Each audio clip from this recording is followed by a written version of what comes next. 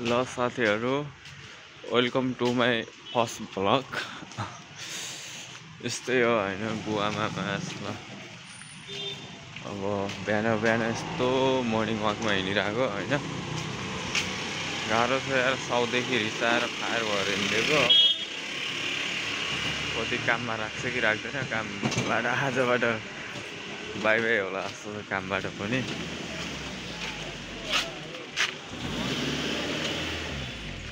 खतम छ यार अवस्था यार।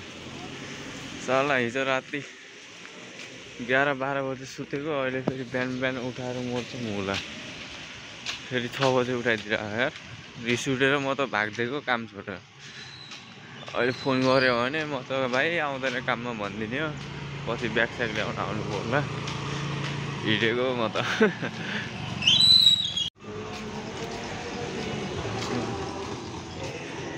गोवा बाप्रे मस्त चर्च रहेछ यहाँ। यति ठुलो म दामी यार। चर्च भने चर्च नै हो यार। त्यस्तो दामी हुन्छ नि चर्च त्यसको भित्र झन् कम दामी हो। यो गोवाको रोडहरू होइन यस्तो ठाउँ पनि कस्तो गाउँ जस्तो टाइपको छ क्या यहाँ चाहिँ होइन? घरहरू पनि त्यति त्यो ठुलो ठुलो बिल्डिङहरू चाहिँ छैन यहाँ चाहिँ। सानो सानो छ होइन अनि घर पनि टाढा टाढा। सेम गाउँ हो क्या यो त। हाम्रो नेपाल भने पनि भइगयो। नेपालमा हुन्छ नि त्यो पाहाडतिर त्यस्तै त्यस्तै टाइपको यहाँदेखि अब यहाँ घर छ होइन यहाँदेखि घरै छैन। ऊ अगाडि छ फेरि घर। यस्तो छ क्या यो। तर बस्नलाई यताउता गर्नलाई हावापानी चाहिँ फेरि एकदम दामी रहेछ यहाँको होइन। अब दामी नै लाग्यो मलाई चाहिँ होइन। यहाँ यता हेर्नुहोस् यस्तो बाटो छ यहाँ। दामी छ कि गोवा तर घुम्नलाई उ गर्नलाई चाहिँ राम्रो रहेछ। अझै धेरै राम्रो ठाउँमा त पुगेकै छैन यो त अब एउटा सानो गाउँ हो हाम्रो यहाँको।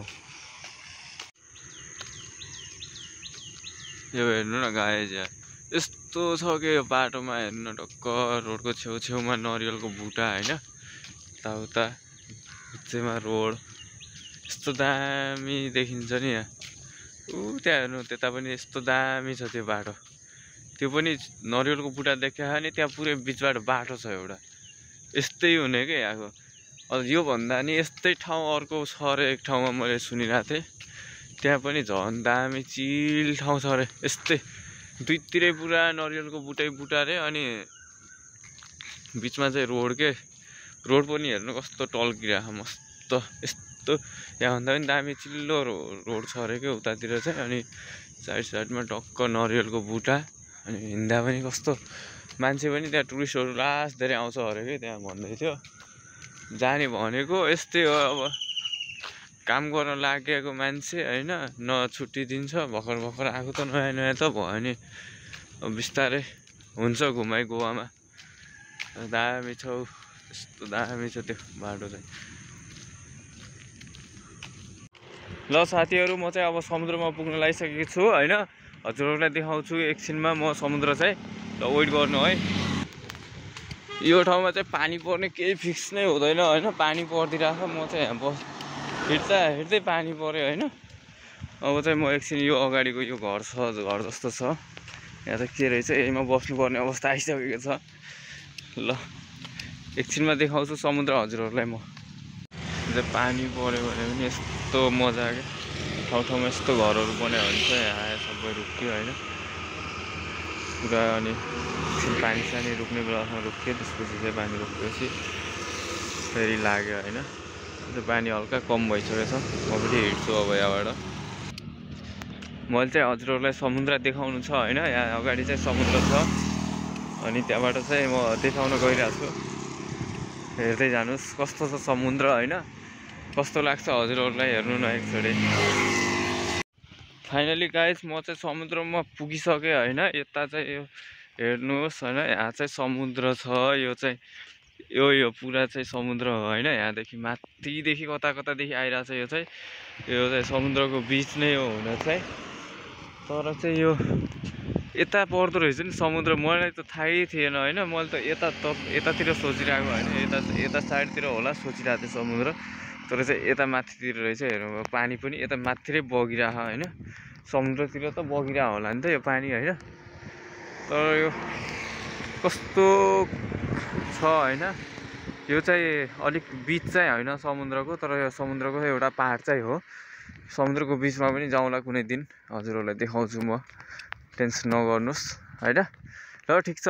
यही हो समुद्र चाहिँ मैले देखेको अघिदेखि भनेको समुद्र चाहिँ यही हो होइन?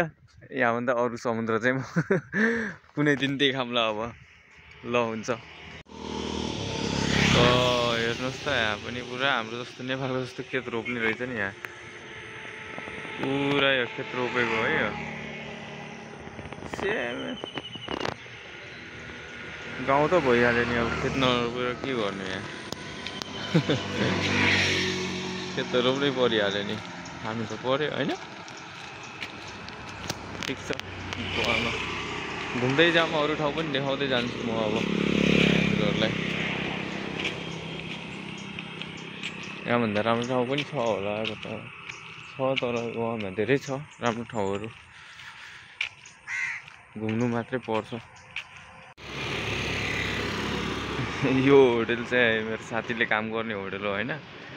यहाँसम्म पुगिसकेँ म तर अब फोन आएको छैन उतादेखि।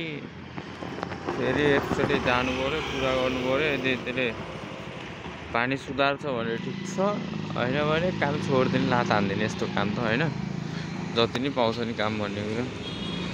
त्यही गर्नुपर्छ। अब चाहिँ म चाहिँ रिटर्न जानु ला फेरि गाई हल्का माइन्ड पनि फ्रेस भयो अहिले त।